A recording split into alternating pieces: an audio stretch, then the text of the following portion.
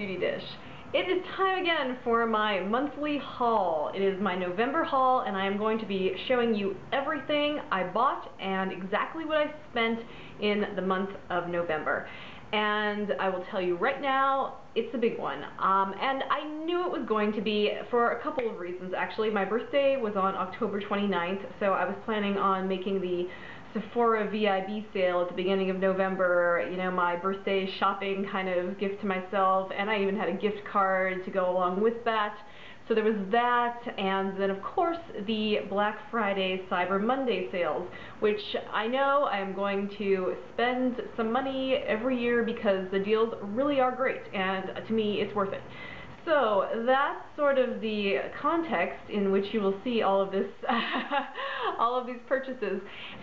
If you haven't seen one of my monthly haul videos before, and I will link the previous ones below, I don't do this to brag, certainly, um, and I don't intend to make anyone uncomfortable by talking about money, but I think it's important to attach some meaning to all the accumulation of stuff that, that you so often get inundated with if you watch beauty videos on YouTube.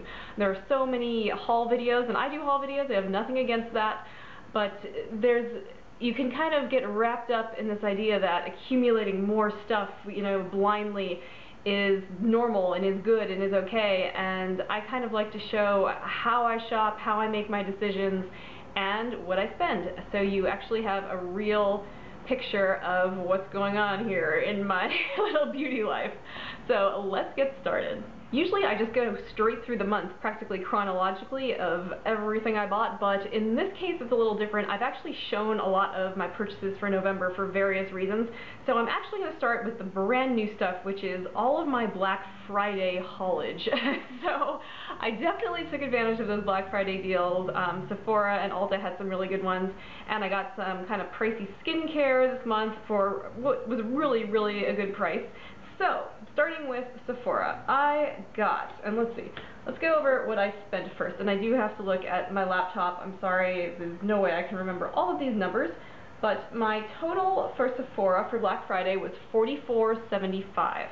And I got a Jack Black lip balm. I got an awesome deal on these um, Bare Minerals Pretty Amazing lip gloss, like they're not really glosses, they are opaque colors, they're liquid lip colors, but these are discontinued, I'm pretty sure, or they're very close to being discontinued, and these are full size, and I got two for 10. Uh, they are regular 16 each, so that was a great deal, and I love them. Back when these first came out, I bought one, um, and I still wear it to this day, it's still one of my favorite products, and I was really happy to be able to get two more for five bucks each. Okay, and then I picked up, um, Sephora had a lot of $10 deals for Black Friday, and I got a little Clarins Duo. It's a toning lotion and an eye makeup remover and I'm going to be going on a trip to see family and to sort of take a little vacation. Next week we're leaving actually and we'll be back like right before Christmas but I thought this would be perfect for my trip and I kind of wanted to try the Clarins toner anyway. Then I picked up some Boscia blotting papers, little blotting papers, you know, for your oily T-zone. And I have um, I have some of these that I really, really like, and this was only $5. So that was nice. Um, I got another $10 deal. I got Bare Minerals, um, a little eyeshadow duo. It's the Ready eyeshadow. And this is like a gray, or a silver and a very, very dark gray. And I've um, excuse me, I have not had a lot of experience with Bare Minerals products, and I really wanted to try their eyeshadows, and this was a very good value, and you got to get a little sample of their primer, their eye primer, which I um, am looking for an awesome new eye primer, so I was curious to try theirs. So I liked that a lot.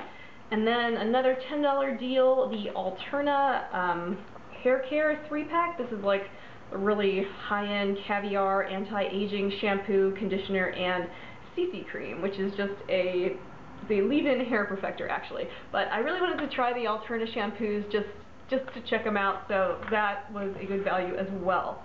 I think I think that is all for Sephora. Let me okay. On to Ulta for Black Friday. I spent $41.52 at Ulta, and I got down on the floor. I got a Hot Tools bubble curling iron. Um, I really wanted to try one of these. This was regularly 50 and it was on sale for 30 and I'm going to try it tomorrow. I'm very excited. I also picked up the Urban Decay Dangerous palette, which is full of some really nice jewel-toned eyeshadows and a mini lip gloss. So that's nice for only 16 Anyways, continuing on, uh, the last thing for Black Friday, beauty related, that I bought was uh, from Skin Store, which sells, you know, really nice, you know, high-end, you know, dermatologist type skincare brands.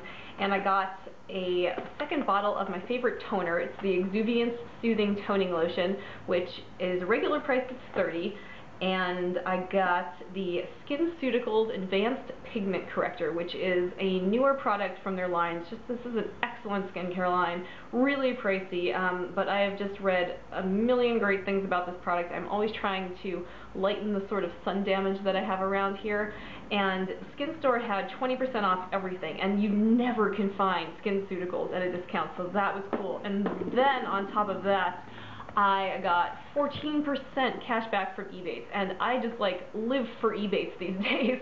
And when I calculated all my totals, like the ones from Sephora that I gave you and Ulta, that had already, I had already subtracted the Ebates rebates that I would get. So, and I haven't done that in previous months, so I think I, I think I should do that because, you know, I'm saving that money. Okay, so that was my Black Friday stuff. Now we're going to kind of go back to the beginning of the month and gloss through a few things because you've seen them already. So you saw my Ipsy bag opening. Here's my Ipsy bag for November. And um, I'll link all the videos that I'm referring to below if you would like to watch them, if you missed them. So that cost $10. I also got the HSN and Total Beauty box, um, which is it's kind of it's kind of like a subscription box, but it's not a subscription, and you can see what's in the box. It's kind of just a bunch of samples um, from stuff that HSN sells in their beauty section. So I have a whole video showing exactly what was in that box, but it was a pretty good value. It was $20. Next up, my birthday haul, which is my previous video. Um, I uploaded it two days ago, so if you haven't seen yet seen that yet, check it out. It's a lot of fun stuff from Sephora and Ulta that I got for my birthday. But just a couple things that I grabbed to show you. I got a YSL Pure Couture lipstick in Rose Stiletto, which I love, love, love. I got um, a Givenchy lipstick as well. Um, watch the video. It's just lovely lovely stuff. and I got some serious skincare. There's a lot of skincare this month. Um, the Perricone Blue Plasma Orbital. So this is the kind of exfoliating gel for your eye area. I'm liking that so far. I also got, for my hair, the Living Proof Satin Hair Serum, and I am really, really enjoying this so far. I just wasn't sure it would be for me, and it's good stuff. Um, I really like that line. So for my birthday Sephora haul, oh, I also got the Hourglass Ambient Lighting Palette as part of that birthday haul. And my total, and this is after Ebates and after a gift card that I got from my mom, I spent 161.63. And that was also during the VIB sale, so I got 20% off. So pretty good, right? Okay. I also got something for myself. It was kind of a birthday indulgence at Ulta, and that was the Tarte Gorgeous Getaways set, which I am loving. Like, I love the shadows more than I thought possible. Um, there's also lip glosses in here, and you can pop out the shadows and put them in here, but I have a whole video on this. It's the $12 Lorac palettes video, um, amazing deals at Ulta. So, of course, I also got these $12 Lorac palettes, which are really great. Um, there's a ton of product in here. This one is my favorite. This is called Platinum Status, and it's like purpley pink and a nice shiny black. The other one is called Solid Gold, and I like it, except that this gold color, just, I think this would be gorgeous for blue-eyed gals. Um, it's not super amazing for me, and it's not my favorite shadow formula ever. So that kind of that kind of marred the palette for me. But these are a great, great deal. If they still have these at your Ulta, um, definitely check it out. Especially get this one if you have blue eyes. But I love this one. While I was there, I picked up totally not fun acetone nail polish remover. And this stuff is more expensive than I thought. This was $4, so I guess it is a huge bottle. but there you go, that was Ulta. And okay, did I tell you my total for Ulta? It was $64.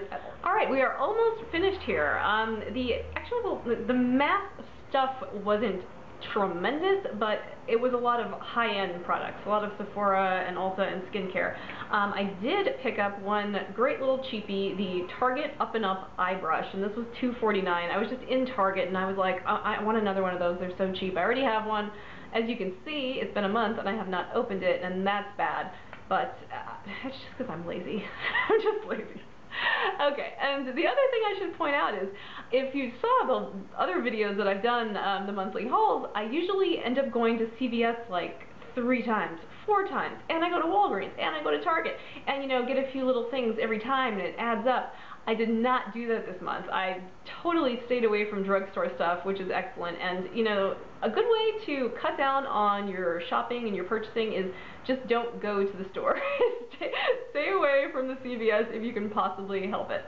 Okay, so I think I'm on to the very, very, yep, the very, very last thing, and I almost forgot about this because it was sort of random, but for my birthday gift, my husband took me on a little weekend trip to New York and I was shopping in Macy's, the big old Macy's in Herald Square. I was wandering around the beauty department, which is fantastic, so much fun. And I went to the YSL counter and looked at my favorite Rouge Volupté lipsticks and they had a ton, a ton of colors that are not available at Sephora. And so I found an absolutely perfect, perfect my lips but better color. It's they don't have names really, but it's number 23 in the Rouge Volupté line. I absolutely love this. Um, so I bought this. This was $34, no discounts, and nothing at all. but it was the only beauty thing I bought on that trip. It was kind of, you know, my little birthday trip. So I bought that, and I'm thrilled with it. Alright, that is my November haul. So are you ready for the totals? Here goes. Okay, I feel like there should be a drum roll, but I'm not going to do that. So, the grand total for November for me was $472.95. That was my price of beauty for the month. And of course I bought enough stuff to last me and give me joy for many, many months. And here's the kicker. I have decided that I am going to do a no-buy January and February. No makeup, whatsoever. And if, if there's something in skincare that I really, really need that I, I just absolutely run out of, I, I would purchase that. But I will not buy a stitch of makeup. I am committed. That's it. Doesn't matter. I'm not going to do it. Um, people, a lot of people have done a no-buy November, which kind of boggles my mind because that's when I know I'm going to make these purchases. I know those are when the sales are. So if you've done that, more power to you. Congratulations. But for me, it's going to be January and February, so these videos are going to be really short in the future. But uh, let me break it down just a little bit more if you're curious. For skincare, out of that $472.95, 142.56 was skincare and hair stuff. I did get a few kind of pricier hair things. So for hair it was 64 and the rest of it was makeup or miscellaneous like the nail polish remover is under the miscellaneous and, and makeup. So that was my total. That is a lot more than I've spent in the previous months where I have actually tracked my spending, but I expected it and there was birthday involved and that's what it was. Um, let me know how you keep track of your beauty budget. Do you have a budget? Do you think you spend too much? Do you I don't know, how do you how do you manage it? Um, if you want to tell me what you think of me, you can you can be honest. Um, as, you know, of course, as long as you are engaging in a respectful discussion. Um, I would love to, to discuss this idea of the price of beauty and what we spend and um, I hope you enjoyed this video. I hope you enjoyed the little kind of Black Friday haul. Tell me what you got on Black Friday, if anything. But let me know uh, if you've tried any of these products, if you got some of the same stuff for Black Friday, um, and if you want more information or reviews or videos on any of this stuff, please do let me know. I'll answer any of your questions in the comments section. You can tweet me. Um, follow me on Instagram and Twitter if you don't already, and subscribe for more videos like this and more looks and more beauty fun and all sorts of goodness for the month of December that is coming. Alright, thank you so much for watching. Thank you for your time and have a wonderful day.